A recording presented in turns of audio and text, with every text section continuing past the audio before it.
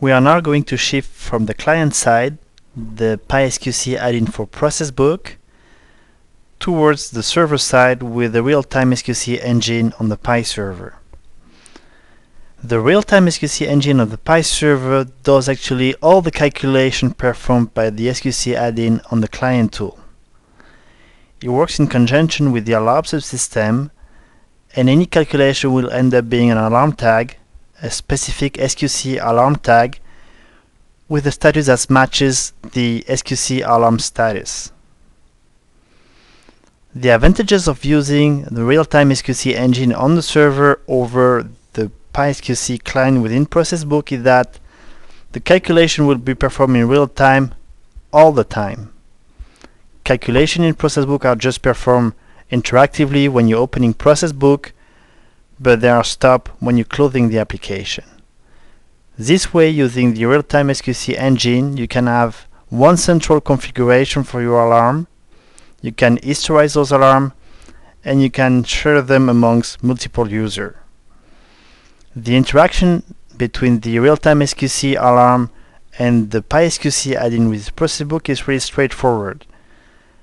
The client will recognize all the configuration from the server and display the control chart as it was one designed by yourself, but most of the setting will be kept on the server and could not be changed by the user.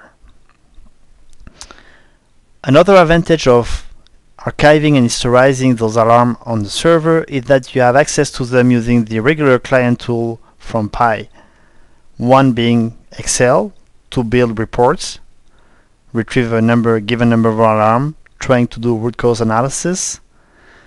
Another one which is PI AlarmView, when you can actually acknowledge the alarm from PI AlarmView. You can also insert operation comments, use recent code, and enhance your root cause analysis using SQC trends. And we got the several tools available to actually build those tags on, on the server.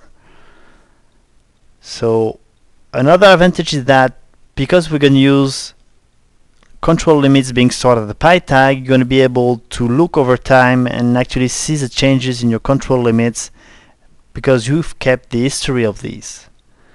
So there is many, many advantages of working with a real-time engine on the server when you're done and pretty sure that you've set up your calculation right on the client side.